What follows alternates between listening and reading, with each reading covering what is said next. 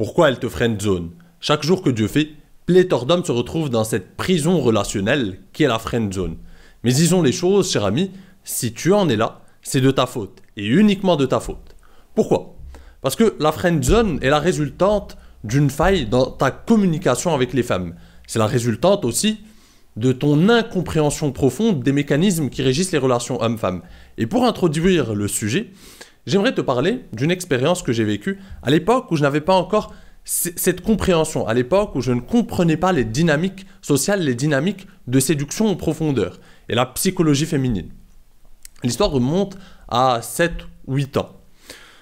Je suis parti en date avec une fille je ne sais d'ailleurs même pas comment je l'ai eu, par miracle, parce qu'à l'époque j'étais dénué de compétences en séduction, j'avais du mal, mais bon, après un mois à textoter avec cette fille, elle a finalement décidé de venir en date.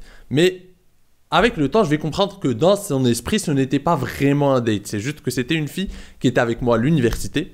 On n'était pas dans le même euh, dans le même amphi ni rien, mais on était dans la même euh, dans la même fac. Bref, donc on parlait un peu sur les réseaux, sur Facebook. Et finalement, en voyant un peu euh, mon compte Instagram, en voyant un peu mon lifestyle, elle décide de venir me voir. J'ai essayé de prendre soin de mon lifestyle et de me mettre en avant. Elle a finalement décidé de venir en date. Donc on se voit à la place de la comédie, si, si des gens de Montpellier ou si des gens connaissent un peu Montpellier, ils vont savoir où c'est. On va boire un verre là-bas. Et pendant ce date, j'ai vraiment cru que tout se passait à merveille. J'ai cru qu'on avait une véritable connexion on parlait un peu de tout et de rien, on échangeait, j'apprenais plus sur sa vie, elle en apprenait plus sur la mienne. Et en rentrant chez moi après ce date, je me suis dit, mais j'ai fait une véritable bonne impression. Quelle connerie. Quelle connerie, cher ami, parce que j'étais très naïf. En fait, je l'ai compris quelques mois plus tard, on va dire, parce que cette expérience a été vraiment le déclencheur de ma transformation. En fait, quelques mois plus tard, j'ai compris ce qui a merdé. J'ai compris à quel point j'étais nul durant ce date j'ai compris à quel point elle devait s'ennuyer à mort, elle devait se faire chier complètement. En fait, je n'avais pas compris une chose que la plupart des hommes continuent à ignorer aujourd'hui, c'est que la séduction est une affaire d'investissement émotionnel, de connexion, d'escalade. Et ça, je ne le comprenais pas. En fait, il y a la logique et l'émotion. Et en séduction, la logique ne gagne jamais. Le rationnel ne gagne jamais. Et c'est un piège parce qu'on se dit, on va faire connaissance. Quand on parle avec une femme qu'on vient de rencontrer, on se dit on va faire connaissance. Et ça prête à confusion. C'est un piège. Parce qu'on ne fait pas vraiment connaissance. Faire connaissance, c'est le meilleur moyen de finir dans cette friend zone. Parce que faire connaissance, c'est un échange d'informations sur nos vies respectives. Je fais ceci, j'ai fait cela, j'ai vécu ça comme expérience. Et toi, t'as fait quoi? Moi, j'ai fait ceci, j'ai fait cela. Ah, d'accord. Et toi, t'as fait quoi? Eh ben, moi, j'ai fait ceci. Moi, je suis allé à l'université ici. Moi, je fais comme ça. Et toi, t'as fait quoi durant tes vacances? Ah, d'accord. Et en fait, c'est chiant. C'est ennuyeux. Et c'est le meilleur moyen de finir dans une friend zone. Ça ne crée pas d'escalade, ça ne crée pas de connexion émotionnelle, ça ne crée pas d'investissement émotionnel, ça ne crée pas de, de, complicité. Il n'y a pas de taquinerie, ça ne crée pas de tension sexuelle. Il n'y a pas de sexualisation. C'est le point mort de la séduction. Et c'est comme ça que les hommes finissent dans la friend zone, en étant neutres. Parce qu'ils pensent que séduire, euh, ce n'est pas une compétence. Ils pensent que séduire, c'est juste un, phénomène qui se produit tout seul, naturellement, comme ça, en ne prenant pas le leadership. Ça vient tout seul. Ça va venir tout seul. On parle de tout et de rien, et comme par magie, elle va finir dans notre lit. C'est comme ça que les hommes pensent. Les hommes qui, finissent régulièrement dans la friend zone.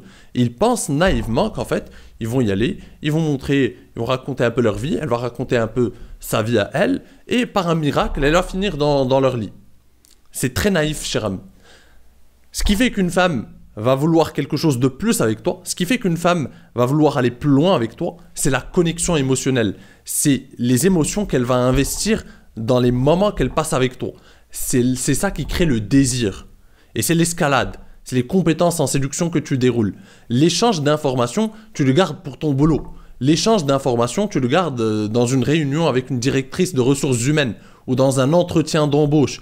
Là, tu peux échanger des informations concrètes. Une femme, quand elle sort en date, dans sa vie amoureuse, elle sort pour s'évader. Elle sort pour sortir de ce, cet univers logique qu'est le boulot, etc. Elle sort pour oublier le temps. Elle sort pour vivre quelque chose de spécial. Elle sort pour vivre une expérience émotionnelle. Et si tu ne lui fais pas vivre ça, elle ne te choisira jamais. Et tu seras toujours dans sa friend zone. Tu seras inéluctablement dans sa friend zone parce qu'elle ne vit rien avec toi. Tu ne la fais pas rêver. Tu ne la fais pas oublier ses tracas, son quotidien. Elle s'ennuie. Et l'ennui, c'est le, tueur de toute démarche de séduction. L'ennui, c'est la pire émotion que tu puisses faire vivre à une femme. L'ennui, c'est le point mort. Tant qu'elle elle, s'ennuie à tes côtés, il ne peut rien y avoir. Elle te trouvera sympa, elle échangera des informations avec toi. Et c'est comme ça que tu finis dans sa friend zone. Elle se dit, euh, ce gars, c'est un type sympa, mais je ne ressens rien. Il n'y a pas de complicité, il n'y a pas ce feeling, il n'a pas ce petit truc. C'est ça qu'il faut que tu comprennes. Et deuxièmement, la deuxième chose, c'est que les hommes restent neutres et ne prennent pas le lead, ne, ne, euh, l'embrassent pas au premier rendez-vous, ne l'invitent pas pour, faire, pour aller plus loin, ils ne prennent pas le lead, ils sont passifs. Or, c'est à toi de prendre le lead. Elle, elle suit le mouvement. Et si tu prends le lead, si tu as les bonnes compétences en séduction, si tu sais comment t'y prendre avec elle, crois-moi que tu vas faire la différence. Si tu ne le sais pas, eh ben, tu vas rester tout le temps dans la friend zone des femmes parce que tu ne sais pas escalader les choses. C'est une réalité. Un homme masculin, un homme qui a des compétences en séduction, un homme qui sait créer une connexion émotionnelle profonde avec une femme, n'est pas friend zonable. C'est impossible. C'est impossible pour lui de finir dans la friend zone. La friend zone est pour les hommes qui ne savent pas dérouler leurs compétences en séduction, qui ne savent pas escalader et qui ne comprennent pas en plus à quel point c'est important, à quel point c'est important de savoir taquiner, de savoir sexualiser la conversation, de savoir gérer l'attention sexuelle, à quel point c'est important d'avoir des compétences en séduction, à quel point c'est important cette connexion émotionnelle et ce contraste entre la logique et l'émotion.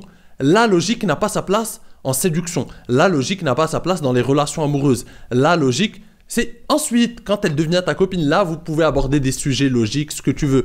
Mais en phase de séduction, ce sont ces émotions qui vont faire la différence. Ce sont les émotions qu'elle vit à tes côtés qui vont faire la différence. Intègre ça dans ton esprit. Intègre ça dans ton esprit et tu n'auras plus jamais de problème pour séduire. Il faut que tu le comprennes. Séduire, réussir un date, c'est une compétence. Ça n'est pas donné à tout le monde on se forme, on développe des compétences en séduction, et là on fait la différence. Mais si tu crois que ça vient du ciel et que la séduction est un phénomène euh, hasardeux, il suffit de venir en date, de, la regarder, de, ou de débiter finalement un peu des, facteurs logiques de sa vie. Par exemple, la plupart des hommes, qu'est-ce qu'ils vont faire? Ils vont aller en date, ils pensent que finalement c'est un échange d'informations où ils doivent un peu dire un peu plus sur eux-mêmes et ce qu'ils font, et ils se disent, ok, euh, j'ai travaillé sur moi, euh, je, vais à la salle, euh, j'ai un bon boulot, je vais mettre ça en avant. Alors moi, je suis ingénieur en ceci, je fais cela, je... et ils répètent des jeux, jeux, jeux, jeux, et la fille devant eux, mais elle s'ennuie. Et eux, ils pensent qu'ils ont fait bonne impression. Je lui ai montré que j'avais une belle voiture, je lui ai montré que voilà, j'ai un bon boulot, j'ai ceci, je suis en place. C'est bien d'être en place. Je ne te dis pas qu'il faut pas être en place. Je te dis que ce n'est pas ça qui va convertir l'intérêt en désir. En fait, ton développement personnel, le fait que tu sois en place, ça peut apporter un intérêt initial. Elle se dit, bon, ce gars, il a l'air euh, en place, il a l'air en contrôle de sa vie, il prend soin de lui, il a l'air en in shape, etc. Ça m'intéresse, je vais aller en date avec lui. Une fois en date, elle va attendre de voir s'il y a une connexion émotionnelle qui va créer une compatibilité, s'il y a une, tension sexuelle qui s'installe. Parce que le désir, l'attraction ne se négocie pas. Si tu ne comprends pas ça, tu ne comprends rien sur les femmes. C'est que tu, n'as rien compris à la psychologie féminine, tu n'as rien compris aux mécanismes qui régissent les relations homme-femme. Alors là, pas du tout. Une femme base son choix sur deux choses, comme je te l'ai expliqué dans ma formation Craque le code de l'attraction féminine, sur le désir biologique et le désir émotionnel. Le désir biologique, effectivement, elle veut un homme qui lui assure une certaine sécurité, qui lui assure un certain niveau, je ne dis pas non plus que tu dois être millionnaire, mais tu dois être un minimum en place. Tu ne dois pas vivre chez ta mère ou être au chômage ou je ne sais quoi. Tu dois être un minimum en place, indépendant, etc. Ça, c'est le minimum. Ensuite, elle se dit, ok, cet homme a les bons critères au début. Est-ce que je vis quelque chose de spécial avec lui? Et donc, si tu n'as pas ces compétences en séduction, tu finis dans la friend zone. Parce qu'elle ne vit rien de spécial avec toi. Parce qu'il n'y a pas ce truc. ce qu'elle appelle la complicité, qui est un ingrédient essentiel pour qu'elle tombe amoureuse. S'il n'y a pas cette complicité, s'il n'y a pas ce, ce, feeling qu'elle ressent, c'est fini. Il n'y a pas d'attraction. Et l'attraction ne, ne s'achète pas avec de la logique. Tu as beau lui expliquer que tu es en place, que tu as ceci, que tu as cela, que tu as ce que tu veux, ça ne change rien. Elle s'ennuie. Réveille-toi, cher ami, développe des compétences en séduction et tu deviendras inarrêtable. Développe des compétences en séduction et comprends que la séduction est une affaire d'émotion, est une affaire de connexion émotionnelle. Si tu ne comprends pas ça, tu finiras toujours dans la friend zone des femmes.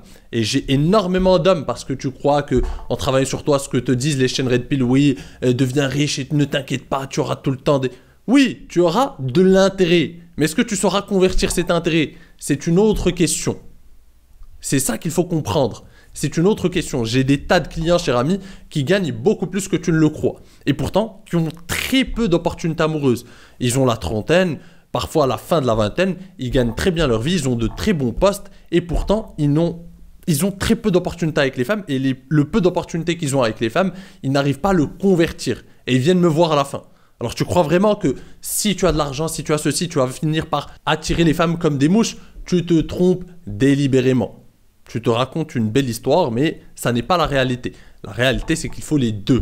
Il faut les deux. Si tu ne sais pas créer une connexion émotionnelle avec les femmes, si tu ne comprends pas la psychologie féminine, si tu ne comprends pas les mécanismes qui régissent les relations hommes-femmes, parce que c'est ton incompréhension qui te met à chaque fois dans la friend zone, parce que tu ne comprends pas que le, un date, par exemple, ce n'est pas une expérience où on échange des informations comme si tu étais dans un entretien d'embauche, c'est une expérience émotionnelle. Tant que tu ne comprends pas qu'une interaction avec une femme, que chaque interaction avec une femme est une expérience émotionnelle, et que si euh, à chaque interaction, elle ne vit pas une expérience émotionnelle et de nouvelles émotions, il ne peut rien se passer. Si tu ne comprends pas ça, tu n'as rien compris. Si tu n'as pas les bonnes compétences en séduction, tu resteras toujours dans la friend zone. Je te le répète. Et c'est ce que je travaille avec mes clients. Mes clients, généralement, sont déjà en place. La plupart de mes clients ont de bons postes, travaillent bien, ils gagnent bien leur vie, ils ont leur vie en contrôle. Ce qui leur manque, c'est de vraies opportunités comment convertir ces opportunités avec les femmes. Et, et c'est sur ça qu'on travaille. On travaille à développer ces compétences profondes en séduction. On travaille à leur faire comprendre les mécanismes profonds qui régissent les relations hommes-femmes pour changer leur mindset et pour avoir de vrais résultats dans leur vie amoureuse, décupler leurs opportunités amoureuses, reprendre le contrôle sur leur vie amoureuse. Et ça, c'est un pouvoir. C'est une compétence que tu développes. Donc si tu ne veux plus finir dans la friend zone, un, il faut que tu comprennes que chaque interaction avec les femmes est une expérience émotionnelle. Deuxièmement, il faut que tu comprennes qu'il faut prendre le lead, qu'il faut aller de l'avant, qu'il faut escalader et que si tu n'escalades pas, si tu restes trop neutre, eh bien ne t'attends pas à un miracle. Elle finit par se désintéresser, elle, elle finit par te mettre dans sa friend zone parce que tu n'es pas passé à l'action, parce que tu n'as pas escaladé, parce que tu ne l'as pas embrassé après le premier date, parce que tu as trop tardé. Et un autre gars plus masculin que toi, plus entreprenant, va venir et va prendre ta place. C'est logique, c'est simple et la vie est ainsi. Elle est cruelle, ce que tu veux, mais il y a d'autres gars. Il y a d'autres gars qui sont plus entreprenants. Tu as une concurrence. Il y a d'autres gars, par exemple mes clients, qui vont venir et qui vont te l'appliquer devant tes yeux parce que eux sont entrepreneurs, ils comprennent les mécanismes qui régissent les relations hommes-femmes et ils ont de vraies compétences en séduction, ce que tu n'as pas encore. Donc soit tu développes ça, soit tu restes éternellement dans la friend zone. Bref, j'espère que tu as compris l'essence de mon message, cher ami. Si tu veux qu'on travaille ensemble, tu peux réserver une heure de consultation avec moi. C'est le premier lien en description. Sur ce, je te dis à la prochaine. En attendant, prends soin de toi et surtout, reste séduisant. Ciao